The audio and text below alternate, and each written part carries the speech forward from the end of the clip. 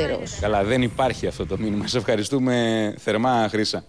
Τώρα, ηχηρό μήνυμα αλληλεγγύης και αγάπης στέλνει η Βίκο Σκόλα, παρέχοντας τα τρόφιμα για το εορταστικό τραπέζι 3.000 οικογενειών που έχουν ανάγκη.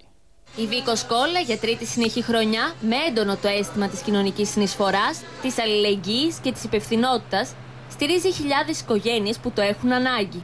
Με την ελπίδα να κάνει και τα φετινά Χριστούγεννα πιο ανθρώπινα και πιο ζεστά για 3.000 οικογένειες, η επιχείρηση παρέχει τα τρόφιμα για το εορταστικό τραπέζι. Ευχαριστούμε πάρα πολύ σήμερα το Βίκο όπου για μία ακόμα χρονιά μας υποστηρίζει στο κοινωνικό μας έργο.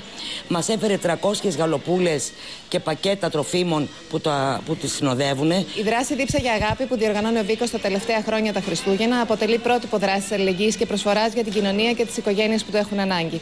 Το Σώμα Ελλήνων Προσκόπων, στο πλαίσιο της συνεργασίας που έχει με το Βίκο, δεν θα μπορούσε να λείπει από μια τόσο αξιόλογη προσπάθεια και βοηθά με όποιο τρόπο μπορεί. Η Βίκο Κόλλα, σε μια στοχευμένη και ουσιαστική ενέργεια, συνεργάζεται και φέτος με τα κοινωνικά παντοπολία των Δήμων Αθηναίων, Περιστερίου, Εγάλεο, Χαϊδαρίου, Μοσχάτου Ταύρου, Αγία Βαρβάρας, Κορυδαλού, Ηλίου Καλυθέας, Πάτρας Ιωαννίνων, της Τράπεζας Τροφίμων Καματερού και του Ομίλου για την UNESCO Πυραιός και Νήσο, παρέχοντας σε χιλιάδες οικογένειες το χριστουγεννιάτικο τραπέζι και μαζί αγάπη και υποστήριξη. Έχουμε μια γιορτούλα, στην οποία διανύμουμε τρόφιμα στις άπορες οικογένειές μας. Είμαστε σε απόλυτα χριστουγεννιάτικη διάθεση από ό,τι βλέπετε. Ε, διαθέσουμε τα απαραίτητα τρόφιμα για το γιορτινό τραπέζι, γαλοπούλα που είναι προσφορά από τη Βίκος και πάρα πολλά άλλα τρόφιμα όσα είναι απαραίτητα για να περάσουν όμορφα αυτές τις δύσκολες μέρες. Δύσκολες και όμορφες μέρες παράλληλα.